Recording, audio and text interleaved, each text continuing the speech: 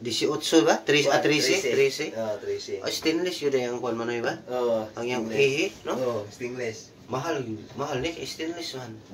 Wala palitan ko na 2,000. 2,000. Ano, ibi mga Ano ba? 13 Oo. kabalyos yung kuan. Good morning, kasama ko yung papa ni Tangay Randy. Ah, magkasinabot mi ani kay Mariami Bisaya. Oh, taga Santander. So yeah, guys. Papakita ko lang sa inyo yung sasakyan ni, ni Tatay, Manoy. Ayan. So ngayon, hindi lang yan. Aakit ako doon. Tara. Tapos Nakapatong na ako sa sasakyan sa bangka ni ah, Manoy. Kasi sa amin sa mga Bisaya, parteng Cebu, Manoy kasi ang tawag namin sa kuya. Manoy. Yan. Papang o papa ni Randy. So, yan. Nandito kami sa bangka nila. Ayan o. Ayan, nakapatong ako dito. Kwentuhan kami. Nasa, ano kami yung, tingnan nyo eh. Baybayin nandoon. Nandito kami sa gilid. Ah, napakasarap ng hangin. Sari presko. Kung sa Bisaya, papuerting presko ah. Ayan o. Tingnan nyo kung saan nagmana yung kapugihan ni Randy Boy. Ah, ni Randy Boy. Ayan. Yan yung ano, original. so, ayan. Andito kami. Oh, napakasarap ng aming um, pwesto kung saan kami nagkukwentuhan yan. Diyan kami mamaya. Maya-maya ng konti guys. Doon. Kung saan pa dyan. Pupunta muna kami ng Bulacau.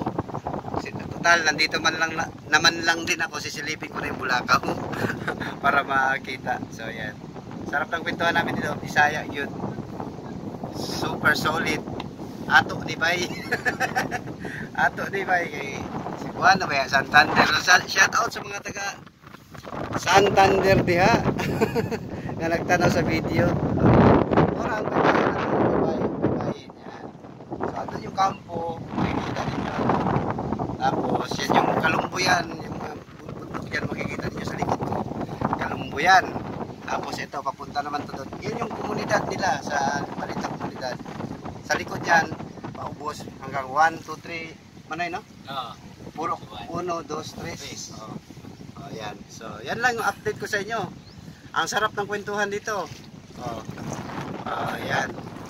Par high tide na kasi, hinihintay lang namin yung high tide kasi alis na rin kami para ano, yun yung bangka na mamaya papakita ko sa inyo yung sasakyan.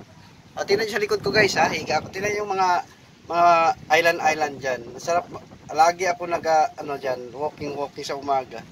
Yan, sarap ng buhay na dito. Simple, ah, and rock. sarap, sarap dito. So yan, later na naman, update ko lang kayo. Usa ay, sandali, makina mo na, kasi makina nilig mo sa sakyan. Yanmar, o si Yanmar lang. Lupit no, Yanmar. Ang size, ano yun? Ano yun? Size Yanmar 13 kabalyos. Ah, Yanmar 13 kabalyos ang makina. Ang ang katas-on na ni Manoy. Kuan. Ang katas ni yan sa sugod na rin. Maputing. Ilan ni kapies. Napit. Oh, 30 feet. Ay, 5. Yan. Pakita ko lang sa inyo yung lapad nito. Lapad yan. Tingnan nyo itong hinihigaan ko. Kung gaano kalapad yan. Ang mula dito. Ganyan. Ayun. Ito naman. So, luwag kayo. Kung sa Bisaya, pala, malu, ma- maluwag. Yan. Tapos ito naman, papunta doon sa sa fronta. Yan. 'Di ba? Ang lapad, no? Tapos, ito, napansin ko, puro kawayan kasi maayo ba ang kawayan, Manoy, kumpara sa kahoy? Opo, kahoy. Sa tarik? Oo, tari. Oo ba? Kaya na lang kayo. Mahal man ang kahoy. Oo. So ayan, tarik daw, kawayan. Maganda daw ang kahoy para kay Manoy. Siya kasi panday to eh. Ano ba panday sa karpintero no? Sa Tagalog. So magaling si Manoy magkarpintero. Ayan. So nakasurvive daw itong bangka niya sa Odette. Pero yung marami dito, yung iba hindi daw nakasurvive. So pasilip ko lang sa inyo yung makina guys. Kung natin ayan. Wara oh. Oh, una yung makina ni ma ni Manoy. Yanmar. Para ang Yanmar mo, kung man gyud na, dagat man gyud na ba? Para dagat man gyud na siya. Ang laki pala. 13 no? 13 kabalyos. So, ayan. Malawak pa dito. Oh, pwede pang magtago pala dito kung ano. Pwede kang magtago sa loob. So, ayun. Kami kaayo. Ah, dito sa gilid, mayroong mga lagayan. Ayan, oh. So, pwede, napatungan ko kanina, matibay. Hanggang doon. So, ayan muna. Later on na naman.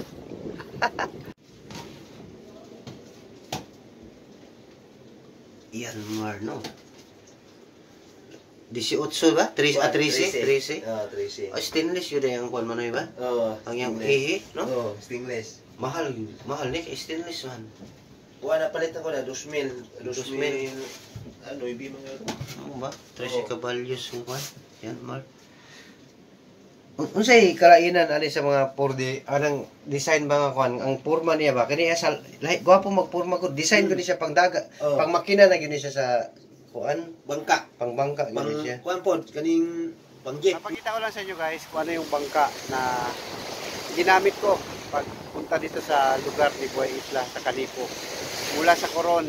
Alright, so ito yung bangka na sinakyan namin, no? Ito yung bangka ng ah, dito ni Buhay ah, Tribo at ni Coron na Islander na sila yung una kong nakasama sa aking adventure dito sa Palawan, sa Coron. So ito yung size ng bangka. Diesel ang makina niyan. Ah, mamaya ilagay ko na lang sa description kung ano yung klaseng makina. Diesel, ah, hindi naman kalakihan. So ayan lang yung aming sinakyan mula sa Coron papuntang ah, before ako pumunta dito no. Ah, yung una naming pinuntahan na Diknay, yung Kabugao, barangay ng Kabugao dito sa Coron na isang barangay ng mga Tagbanwa. Ito yung barangay ang yan ang barangay na alam ko na napaka-solid Tagbanwa yung mga ah, residente. So ito ang ginamit namin ang aming ah, operator o nagmamaneho dito sa bangkang ito ay ang Lakbay Tagbanwa, yung magkapatid na related din sa Coron na Island tribe. Ayan. Hindi siya kalakihan, no? Actually, kung makikita ninyo, ito 'yon. So, maliit siya pero nakarating kami dito kahit amihan sa Kanipo.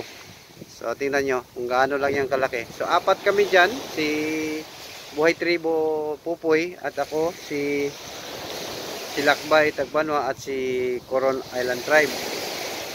Dito kami nakasakay. So umabot kami ng halos tatlong oras no sa kasi malakas ang alon nung panahon na yon. Muntik na nga akong sumuka doon. Ah, but sulit naman yung experience. Napaka unique, napaka ah, challenge, thrill, name it. Andun lahat. Napakalaki ng alon no, nung panahon na yun. So, ito yung aming sinakyan mula sa Coron papunta ng ah, Dignay Kabugao. And then, kasi guys, inikot kasi inikot pa namin yung ah, Coron. At marami pa kami, kaming pinuntahang mga spot na yun lang exclusive na hindi open sa turista sa area na yon. Diba? May mga spot pa silang magaganda. Pinakita ko lang sa kanila yung aming sinakyan mula sa Coron papuntang Kabugao kung gaano lang kalaki. Ano nga ba makina nito? Oh, crudo. Yung Parkinson, ano to? 14 kung sa ano 14 horsepower to na diesel. So ayan ayan na correct na ako ng dalawa si uh, Tagbanwa Rickson at si Jerry na yun nga binanggit ko yung makina. So ayan, ganun lang kalaki kasi baka mag kwento ko lang sa inyo kung ano yung sinakyan. Hindi yung malaking bangka ni Buhay Isla nung pumunta kami dito. So ayan. So ito, gaano to kalaki? Uh, Banwa Jerry? Ano, 24, 24. Ang haba nito, apat, apat, palima, palima, tipa. limang dipa. Ayan. Hindi kalakihan, no? Tingnan nyo. Ah. Ganun ako katibay kasi dito ako sumakay. Ah, yabang, no? Yan, dito ako sumakay nung binu, binabayo kami ng mga alon. Namuntik na akong sumuka, alam yun, ha? Ito yun. Ayan. So, napakalaki na nito. Siguro, makarating na ng Mindanao to. Ayan, yung, ito, ayan yung uh, Timon at saka LSC. Ayan. So, yeah. So, kung bukas, ayan yung panahon ngayon dito sa, ano, ma maalon pa rin, pero maliwanag na ang langit, mahangin. So, hindi namin alam. Plano namin bukas tumawid pabalik ng Coron. So, ayan, dito kami dadaan ulit. Exit, dito kami mag-exit. Ganyan, ikot, punta doon. So, yeah, I hope maganda ang gising namin bukas at nasa kondisyon kami. So yeah.